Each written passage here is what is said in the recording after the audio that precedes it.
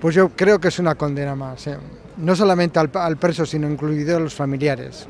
Voy con mucha frecuencia a León y esto es una vergüenza porque aquí cuando menos piensas pues puedes tener un accidente, o bien por tu culpa, o por el cansancio, o por el contrario, y muchas veces por el tiempo, la lluvia, el viento y el hielo. Y muchas veces pues te toca conducir de noche y existe el cansancio y tal, y entonces pues es muy fácil tener un accidente.